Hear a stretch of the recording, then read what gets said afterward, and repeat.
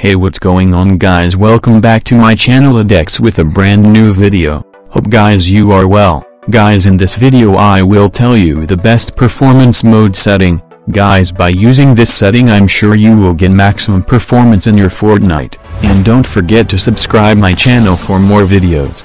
Watch this video complete till the end otherwise you can't get benefit from this video, so without wasting any time let's go state in the video.